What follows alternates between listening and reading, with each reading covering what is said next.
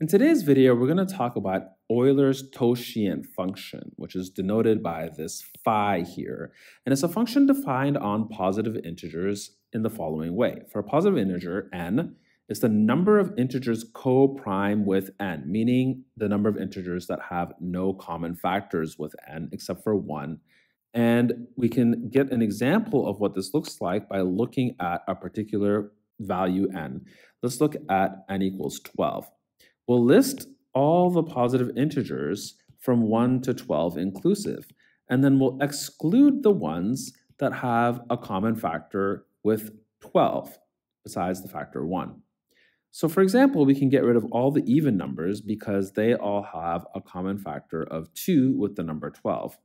We can also get rid of the multiples of 3 that we haven't seen yet, which is 3 and 9. And that's pretty much it all these other numbers here have no common factors with the number 12 except for the number 1. Um, and so phi of 12 is the number of numbers we see here, which is actually explicitly 4. So the question we're going to ask is how to actually get a concrete formula for 5n in terms of data involving n. And the formula we're going to get is going to look something like the following. So what we'll prove is that phi of n is actually equal to n itself times a product. And each term in the product is going to look similar.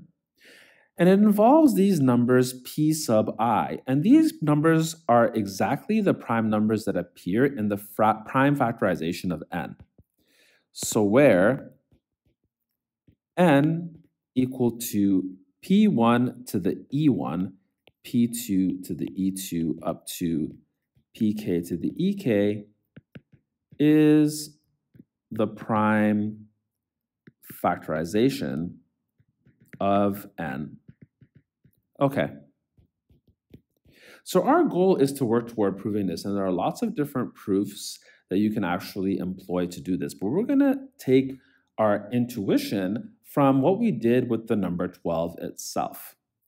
Okay, so I want to start with the following case where n is actually a pure prime power. So let's say it only involves one prime, p1. So p1 here is prime, and e1 is greater than or equal to uh, 1. All right, so the question is, what is phi of n?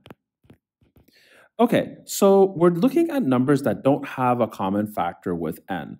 Now, since the only prime factor of n is p1, we can look at the list of numbers from 1 all the way to p1 to the e1.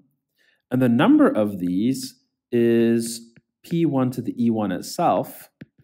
And we want to get rid of all the numbers that have a common factor with n, but since n is a power of this particular prime p1, we need to eliminate only the numbers that have a common factor of p1. Now the numbers in this particular set that have a common factor with n are the numbers that are multiples of this particular prime, because this prime is the only prime that divides n itself.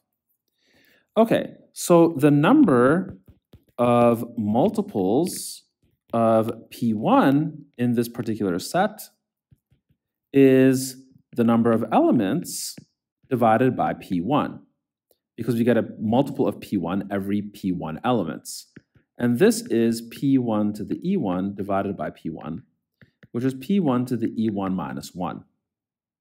So phi of n is the number of numbers we see in this actual list, which is p1 to the e1, minus the number of things we throw out that have a common factor with n, which is this list of numbers right over here, the multiples of p1, and the number of them we counted to be this. So we'll subtract off P1 to the E1 minus 1. Okay, so now we need to figure out why that expression that we have actually matches the formula that we have up here. Um, and so if we factor out n, n itself is p1 to the e1, we'll get a 1. And then we'll have, because of this second term right over here, a 1 over p1. And so this gives us n times 1 minus 1 over p1. And so we have our result, for the situation in which n is actually a perfect prime power. Awesome. So let's see what we can do to figure this out for n in general. To figure out what to do in general, what I want to do is look at the specific case when n is a product of two powers of primes and see what we can do in that case. So again, we'll look at the numbers between 1 and n and then discard anything that has a common factor with this number right over here. Anything that has a common factor with n will have one of these two primes as factors, and if anything has one of these two primes as factors, then it'll be something that has a common divisor with n. So the number 5n is going to equal n minus the number of integers in this set that are multiples of P1 or P2. Now, there's something interesting that happens here with these numbers. The number of multiples of P1 or P2 actually requires us to think a little bit about inclusion and exclusion because we have the multiples of P1. All the multiples of P1 are going to be things that are multiples of P1. And then we need to add in all the multiples of P2. But by doing this, we actually double count the things that are multiples of both P1 and P2. And so we need to subtract those off. So we'll subtract the multiples of P1, P2. Okay, in doing that, we'll have n the number of multiples of P1 in this set is exactly n divided by P1 because n itself is a multiple of P1 and the multiples of P1 occur every P1 elements. So this is minus n over P1. And similarly, for multiples of P2, we'll have a minus n over P2. And then finally, we'll have a plus because of this double negative right over here P1, P2. Okay, and if we look at this, this has an n as a common factor. We get 1 minus P1, 1 minus 1 over P1, 1 minus 1 over P2, and then a 1 over P1, P2. And the latter actually factors into 1 minus 1 over P1 times n, and then a 1 minus 1 over P2. So we're getting close to our general form, and we can kind of see a way to go about doing this now in the most general case. So if we have n written as a product of powers of primes in the following most general way, then we're looking again at the set 1 through n and discarding the things that are multiples of any one of these primes. So we can create sets. Let's call A sub i the multiples of pi in this set right over here. Okay, then phi of n is equal to n minus the size of the union of all these sets.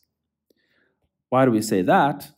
Well, the union is the collection consisting of all things in all of these sets. And we need to discard all things that are multiples of any of these potential PIs.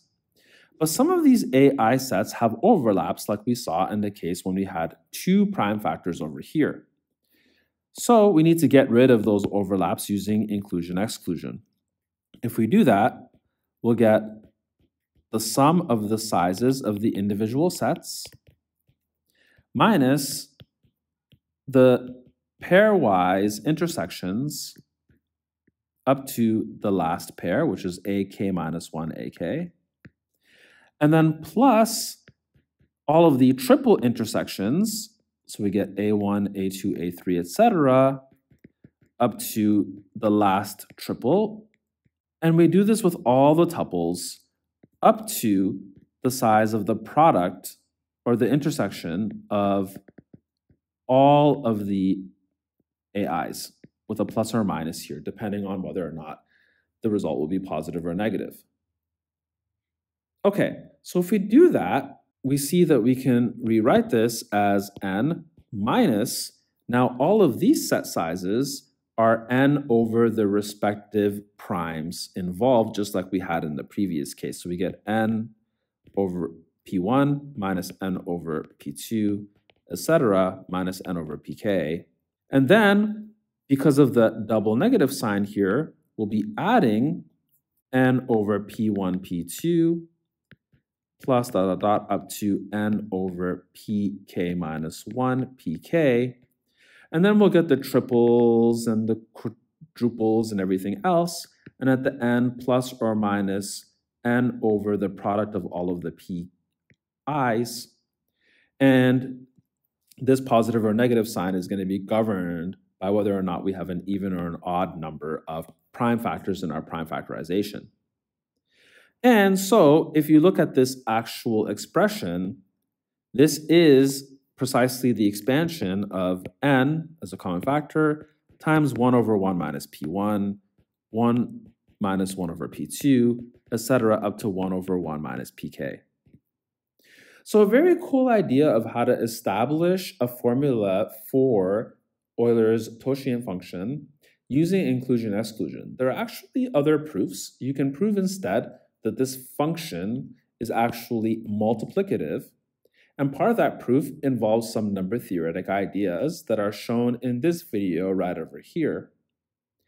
So if you want, you can actually try to establish that and make a, any comments you want in the comment section about why this function right over here is actually a multiplicative function, meaning that phi of mn is equal to phi of m phi of n when the GCD of m and n is 1. If you can establish that, then you can write this thing here, phi of n, as the product of the phi functions of each of these, and then use what we did for individual prime powers to extract a formula in general. So give that a try, leave your thoughts in the comments, and we'll see you in the next video.